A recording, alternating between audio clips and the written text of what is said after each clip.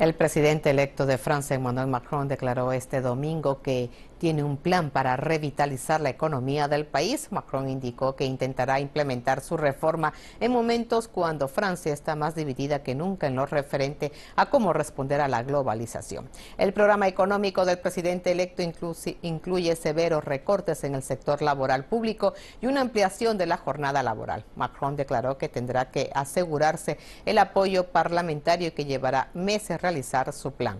CGTN tiene más información sobre el impacto de los resultados electorales. Francia sigue estando lastrada por una alta tasa de desempleo y unos elevados salarios en el sector empresarial, lo cual es uno de los asuntos que Macron ha dicho continuamente que tratará. Además, su posición frente a la Unión Europea es muy pro-europea, lo cual, por supuesto, son buenas noticias para muchas personas. Sin embargo, su idea de crear un tesoro central para la eurozona, una suerte de Ministerio de Finanzas, se desmarca de lo que quiere Alemania. Macron quiere una mayor integración, para lo cual tendrá que debatir con los alemanes en el futuro.